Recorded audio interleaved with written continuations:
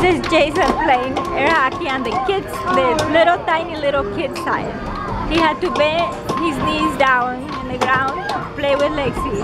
And Lexi's hunched over, of course. it's too funny.